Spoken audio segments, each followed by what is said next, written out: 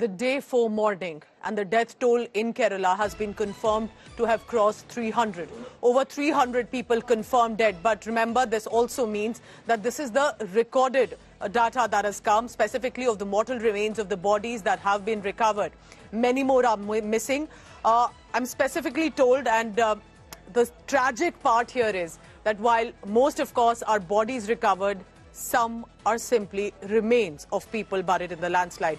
There have been also confirmed 29 children who have died buried in the Wayanad landslide. Chief Minister Office has also suggested that there is not much hope for more survivors. Remember that on 30th July morning, which is overnight, 2 to 4 a.m. is when multiple landslides hit Wayanad.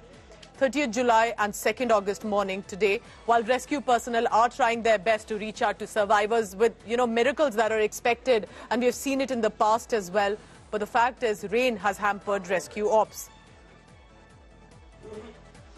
Shibimol KG is joining me on the phone line. Shibimol, you've been constantly getting updates here. You're talking to as many people, and I understand how difficult this can be on the ground. But what about the rescue operation now? How are, what is the priority now? Are they looking for survivors? Are they now looking for rehabilitation? Are they looking to make more bridges? What are you picking up on the strategy here on? Uh, since the Bridge construction is uh, over, it's become easy for vehicles and machineries to reach Mundakai area. So uh, the rescue operations have up, but again, it's raining again in Churalmala is what uh, we are seeing around. So uh, that again is going to be difficult for the rescue operators because yesterday also they had to stop in between because it started raining very heavily and it's not very safe to stand on certain areas because you never know, uh, you know, it's very slopey also. So uh, that, uh, but the rescue operations are going in full swing considering that the bridge construction is over, which is making it easy for ambulances and other vehicles to travel.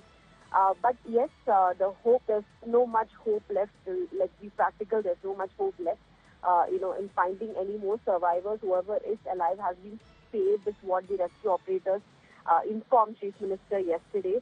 So it's more about recovering the body parts uh, because there should be a data on how many people have gone missing, how many people, uh, you know, have lost their lives in this tragedy. So uh, the focus is to recover as many bodies as possible and uh, they're using uh, the help of, uh, you know, the uh, dogs also, uh, the dog squad also to find because, uh, you know, there were certain areas where, uh, you know, the dog squad did find body parts because uh, uh, body parts. So that is also one focus today. The dog squad has also been deployed since the last two days, especially in Mundakai area, because it's completely washed away. And uh, the bodies that they recovered yesterday were underneath, uh, you know, the, the pieces of the houses that were lying down. So, uh, but right now the focus is to take out as many bodies as possible from the debris, uh, mm. and that is that was difficult yesterday because they couldn't get a lot of mesh, the help of a lot of machinery. But today, uh, that will also be provided because the business construction is over.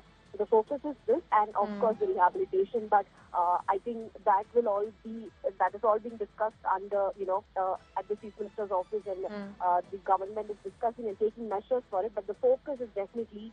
Keep, keep tracking the latest on this, Shibimol, because remember, when we say death toll 200 or 300, it also means hundreds of families who have lost their loved ones. Some of the families have been wiped away. So think of it in that sense as well. This landslide incident, Wayanad, Kerala, India, will not forget in a long time to come.